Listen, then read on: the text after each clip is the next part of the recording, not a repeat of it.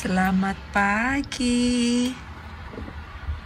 Pagi-pagi melihat keluar semua putih di kejauhan sana pepohonan semua putih so beautiful.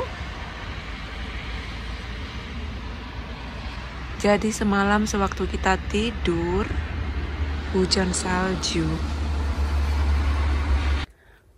Hari ini pohon bunganya menjadi pohon bunga kapas.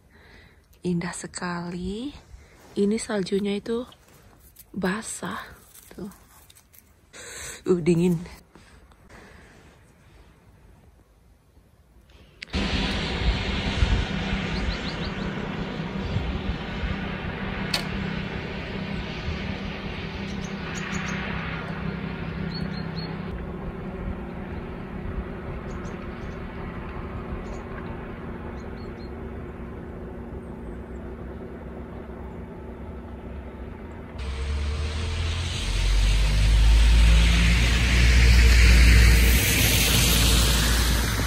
Ada Hafinda Poskula darling. Mm.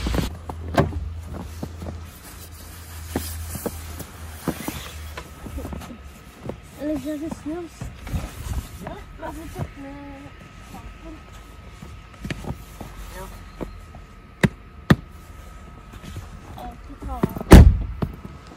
Hari ini bersalju, jadi sekolahnya diantar.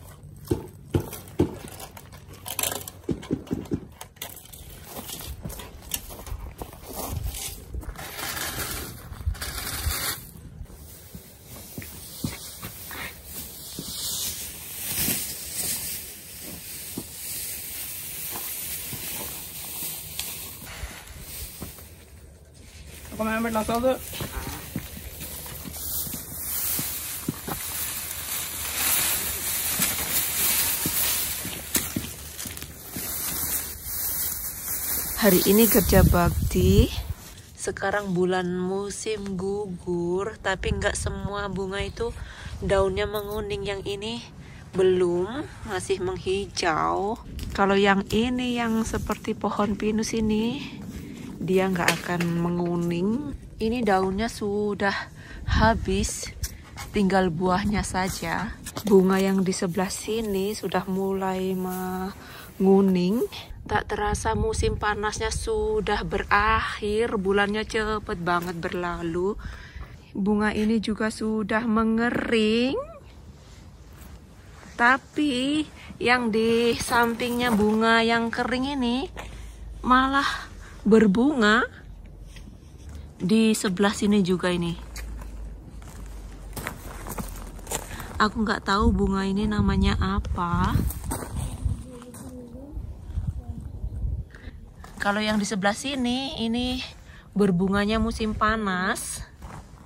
Jadi yang berbunga di musim gugur itu hanya bunga yang sebelah sini saja. Ja, vi knalsen lite.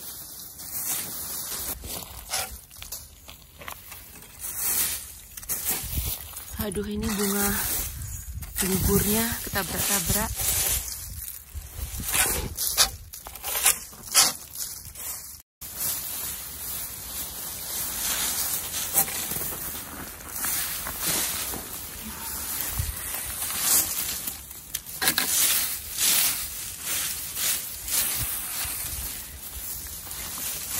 Kita nyapu seperti ini hanya di musim musim gugur saja.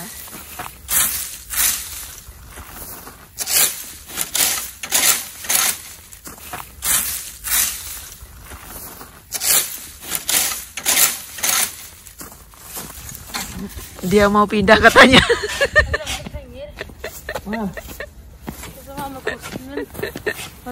Var det det sa. Det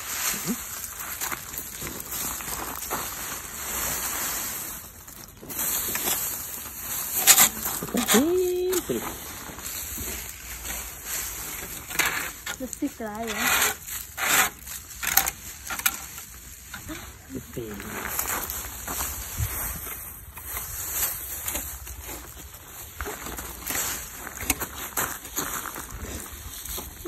Que jeito.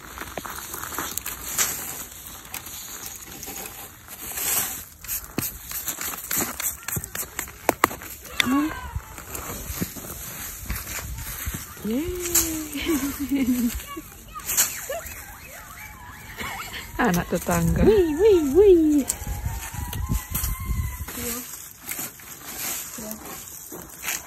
Nyapu-nyapu di sekitar Ya, rumah saja pakai jaket tebal, pakai sarung tangan, penutup kepala, karena suhunya minus hari ini.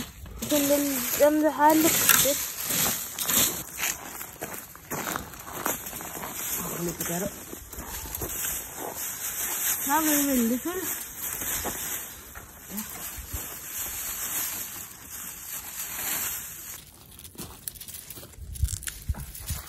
Nei, jeg sparker den vanlig saks. Nei. Er det ikke? Nei, den er bare sterkere. Å, ikke... Den er ikke sparkere. Nei, sparkere. Den kunne jeg slippe fingeren din. Ja, den er god på den.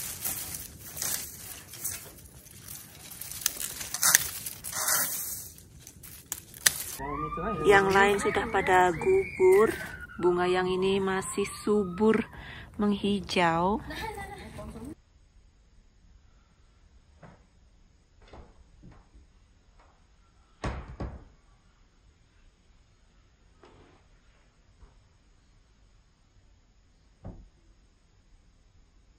Hai hai semua, kembali lagi di Muda Norway. Di vlog hari ini kita mau memasak lagi. Semoga teman-teman semua selalu sehat, bahagia bersama keluarga tercinta. Nah, hari ini kita mau memasak sup balungan sapi. Sangat cocok dengan suasana yang dingin-dingin karena di Norwegia itu sudah musim gugur. Jadi itu setiap hari, apalagi malam itu dingin. Jadi kalau malam hari itu jarang sekali kita buka jendela. Kalau waktu musim panas, setiap hari apalagi malam itu kita jendelanya dibuka kalau tidur gitu. Karena di keluarga kami itu nggak ada namanya AC pendingin teman-teman.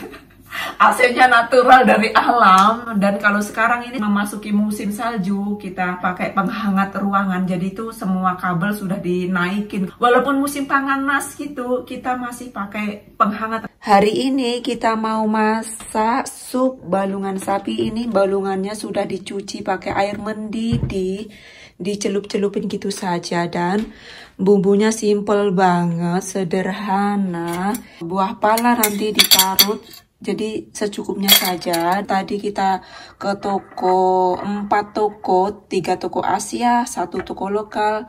Nggak nemu kayu manis yang masih keras gitu. Jadi kita pakai kayu manis yang sudah bubuk. Ini uh, merica bubuk. Dan tadi juga kita cari ini jarang sekali di kota kami ada bawang merah kecil. Tadi di tiga toko Asia adanya di satu toko Asia yang dua nggak ada dan di toko lokal nggak ada. Tambahin sayur mayur ini. Ayo kita masak bersama-sama.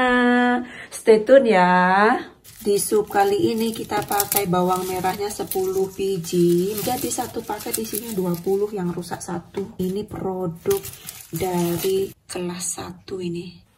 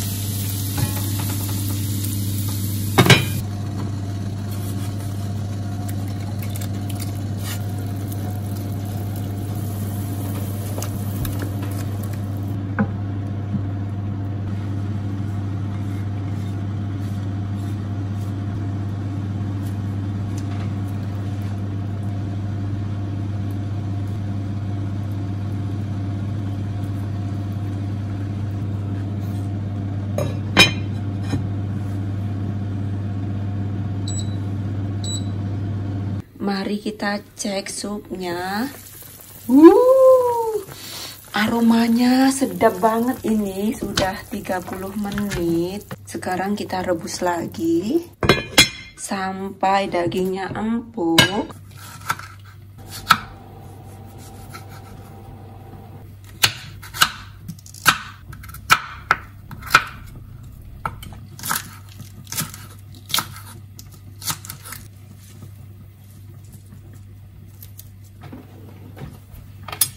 Mari kita cek lagi.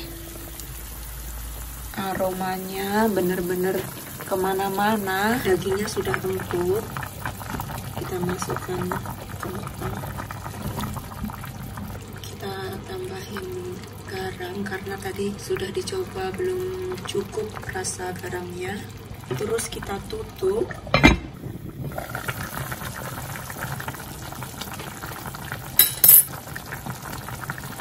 ini nggak pakai gula. Yang terakhir sayuran.